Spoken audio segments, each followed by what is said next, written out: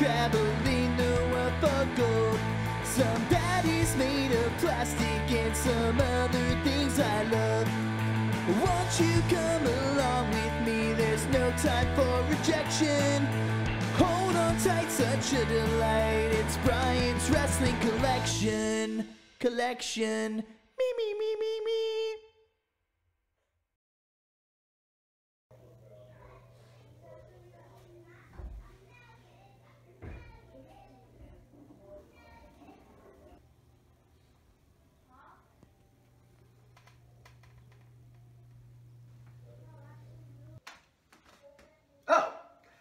Hey, what's up, guys? It's Brian Hardy with Brian's Wrestling Collection.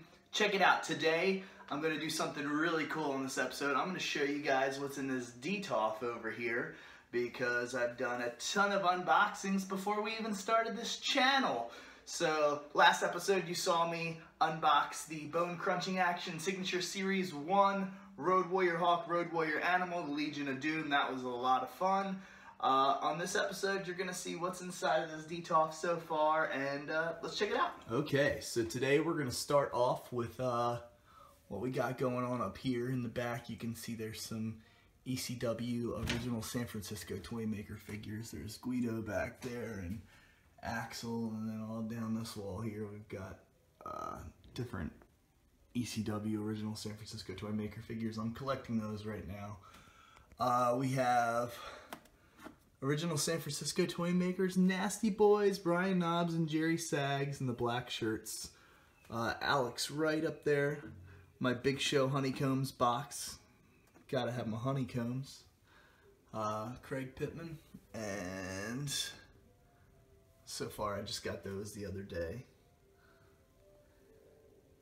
We got uh, some LJN figures. This is just restarting my collection. So I've bought and sold figures over the years uh, like crazy. That's what you do when you have kids. Um, because if I didn't have kids, which I, I don't regret my children in the slightest, but if I didn't have kids, I'd probably have like one of the largest withstanding wrestling collections ever. Uh, no joke, but you know, times get tough. Uh, you run out of money, and sometimes you do what you got to do for your for your family. As I used to tell people, you can't eat an action figure and you can't eat a guitar. Anyway, this is the LJN collection. This is kind of cool. This is like uh, there's the uh, the British Bulldogs, who are two of my favorites. You got Terry Funk back there, Big John Studd. You got Magnificent Muraco, JYD, uh, Greg Valentine. You got Tito Santana, Bob Orton, uh, Iron Sheik, Nikolai Volkov, Billy Jack Haynes, Hulk Hogan, Macho Man, Andre the Giant with the long hair, uh, Bruno Sammartino, and Hillbilly Jim. So that's my start of my LJN collection again, my, my new build of LJNs. Alright, on this shelf we kind of have like some miscellaneous stuff. Uh, we have some, I'm restarting, like I said, my whole entire collection, so I've got some uh, bone crunching action figures here in the front, Jerry Lawler, which is my favorite.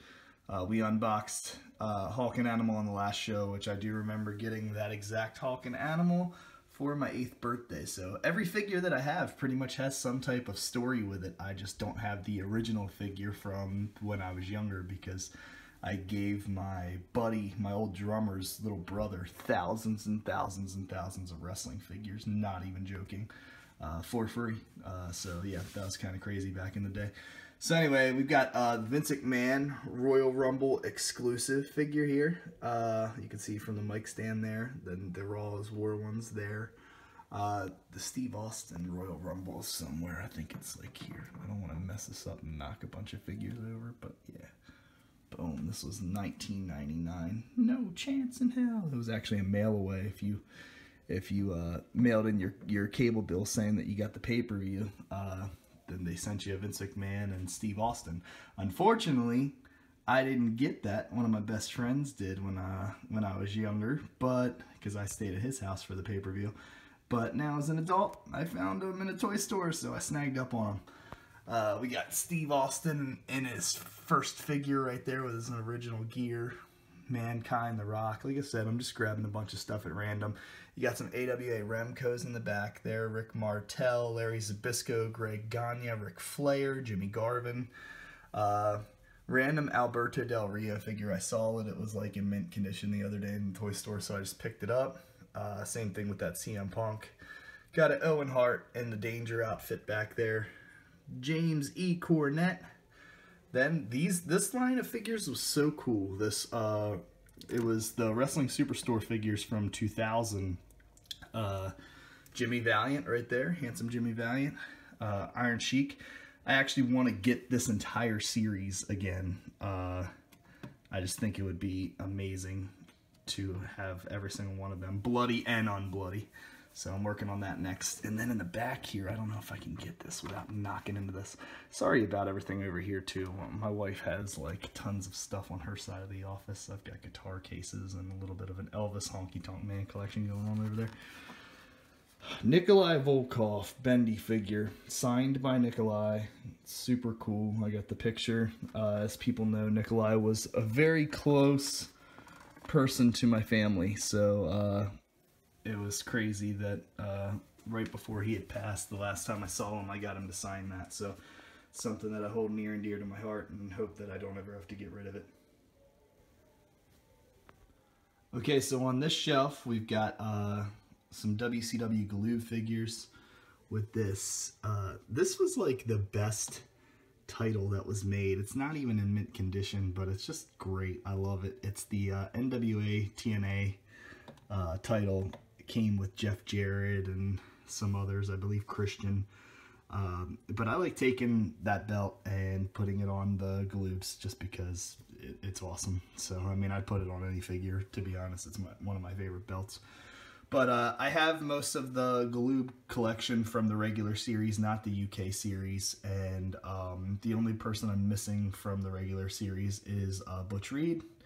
So anybody out there that has a Butch Reed in like close to mint condition or good enough condition, slide into my DMs and let me know how much you want for it and we'll rock that out. A lot of these are in really good condition. I bought uh, quite a bit of these from a convention in Philadelphia that I was at a while ago doing a signing. Uh, but I love those figures. These original San Francisco Toymaker figures are cool too, the little minis, uh, where they tried to like replicate the Galoob size figures and that was pretty cool. So I got quite a bit of those uh, started to collect again. Then in the back here, you've got Kevin and Kerry Von Erich and the Texas Tornado figure as well. Uh, they go for a lot of money on eBay right now. So I told my son the other day, like he had them down in his room and they were just like sitting there like in a bin full of thousands of figures that he has downstairs.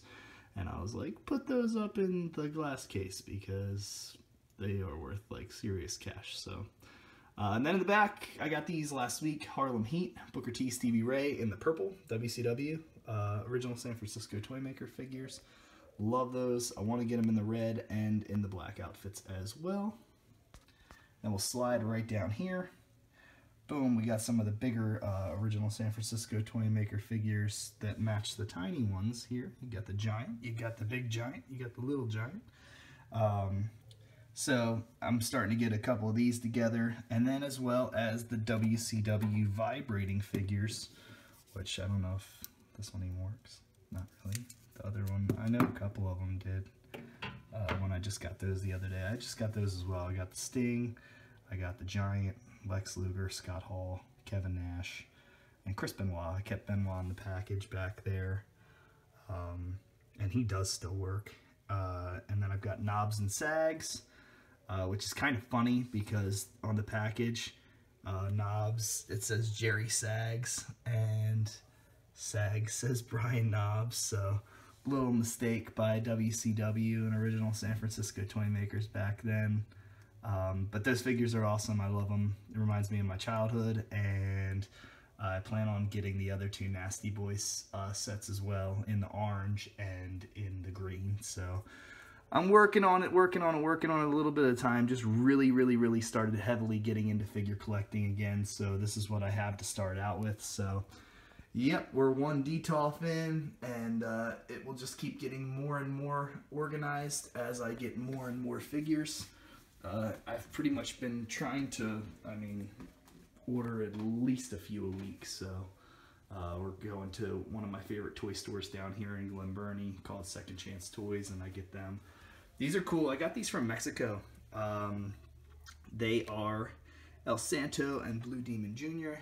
I do have a Blue Demon Jr. tattoo on my leg. It's pretty cool. Uh, one time when I was on Monday Night Raw wrestling the Viking Raiders, uh, Adam Pearce actually stopped me in mid lockup and was like, "He can't work here. He's got a Blue Demon Jr. tattoo." And then he was like, "Just kidding. I love Blue Demon Jr." So, uh, yeah, I got a bunch of different random posters around here. I'll take you on a tour of all that stuff one day. But that's just the current action figure selection that I have. I uh, I have a few more over here in this area.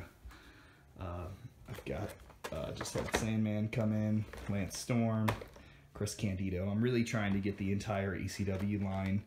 Uh, again, it was just such a big part of my childhood, so we'll work on getting those down the line again as well. This is my favorite ECW figure of all time, Mike Awesome. Um, I hope to get my hands on another one uh, because as a kid it was one of my favorite figures and I'd like to pull it out of the package and describe what I like about it to you guys one time on maybe an unboxing. But this figure itself cost me close to hundred dollars on eBay, and that's that's what they're going for right now at the moment. And uh, I just love this figure. Like it's I can't wait to get a protection case for all these. Uh, but they're awesome. So I got this Tommy Dreamer one. I think that was series three pretty sure, which was random. Like, why did you put him in a yellow shirt? I know millions of people said that. RVD with the television title. This was a great figure. I can remember getting that for like Christmas in 1999, uh, along with like Sabu and Candido and stuff. Just incredible. That was his first figure. And uh, D-Von Dudley and Bubba Ray those were such a big deal when I was younger because by the time the figures were released, they were already in WWF, which is WWE. Uh, I got Cheek and Zack Ryder up there. My son and I recently just uh, sold our entire uh, retro line that we had out of the package uh, to the toy store in exchange for store credit for other stuff that we got. Um, but we plan on getting the entire series of the Mattel Retros back in the package like that. So that's the start of it. So I know what you guys are thinking. Pretty cool stuff, right? I think so. That's why I collect it. So, like I said, if I would have held on to all the stuff that I had as a kid, I would have like one of the biggest wrestling collections of all time right now. Unfortunately, like I said, life has a way of catching up to people in different ways. Not afraid to admit it. And over the years, I've sold off hundreds upon thousands of items that I had had. So it's just rebuilding, uh, watching a lot of YouTube videos and things like that has motivated me to want to really start a really large collection again. And I'm a musician as well as a professional wrestler, so I'm constantly traveling, playing shows, and doing things like that, and finding all of this cool stuff around the United States. I'm also an eBay addict, so it doesn't help that like I've got a bazillion items in my watch list all the time. So constantly, weekly, just getting new stuff in. So it's cool. As long as my wife doesn't kill me and she's cool with it and my kids support it, then I'm down with it. But I know people have been asking, what is the best part of your collection so far? Well, I said the Mike Awesome figure was my favorite, but I honestly have to say that my favorite thing in my collection at the moment is my brand new Brian Hardy Gaddor Buddy. That's right, my Gaddor did an amazing job on this. Man, freaking awesome. Uh, and they will be available for purchase soon. Uh, so we're working out the details on that right now. But man, like they got my tattoos, like literally. Like this is insane. There's my grandparents right there. Like they got that. They even got that. Like this is nuts. Such a great job.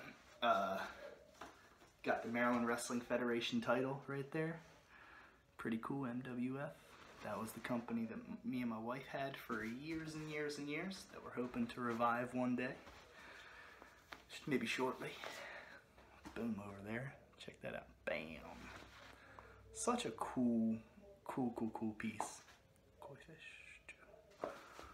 They just did amazing. So, uh, Brothers Gaddor on Instagram, amazing, amazing, amazing. Just such a cool piece. And uh, he's actually about to make me like a ton of other cool customs like Terry Funk and Harley Race and all that good stuff. Speaking of Terry Funk, did you guys see the Terry Funk shirt I got from Pro Wrestling Tees? Awesome! I know I posted a photo the other day wearing my Eddie Gilbert shirt. And uh, yeah, I'm gonna be getting a ton of that cool stuff into uh, sometime soon. So anyway, we got a ton of cool stuff. My cousins just dropped off belts for me and my son. We got the Smoking Skull. We've got uh, the old like World Heavyweight WCW Big Gold title. We got the uh, Winged Eagle belt.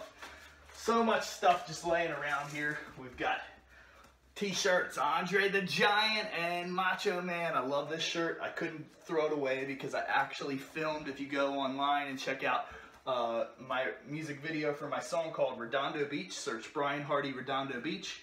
I'm wearing this t-shirt in the music video. It's so cool. So, tons of other stuff. Cups, masks, autographs. I mean, you name it. It's all around here. So, uh, one day, when it's all organized and we have more time, I'm going to break it down, show you guys a cool tour of the entire place and 8x10s and everything else. I've had a really blessed life. Uh, times have been hard, like I said, at, at times, but uh, times have also been pretty amazing. So I've got a lot of stuff that other people don't have or couldn't get their hands on as well. So, all right, guys, thank you so much for tuning in. Be sure to like and subscribe to Brian's Wrestling Collection on YouTube. Be sure to follow me on Instagram and all that good stuff. Thanks so much for watching. See you next time.